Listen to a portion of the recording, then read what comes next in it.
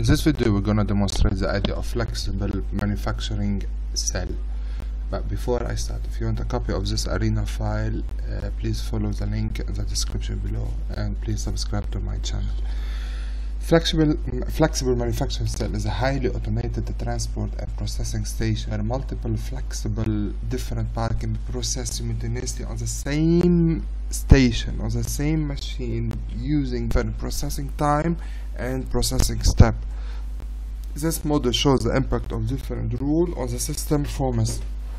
I will show you an example. So if you have unloading and unloading area onto the conveyor or system line, we have machine 1, machine 2, machine 3, machine 4.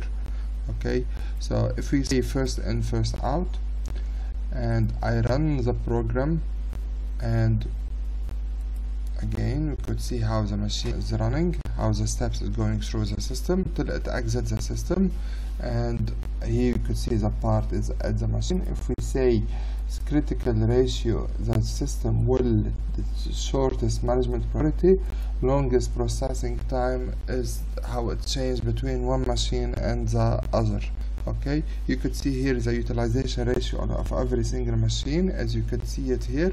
And which one will do the steps? The one having the longest processing time as a scheduling uh, rule.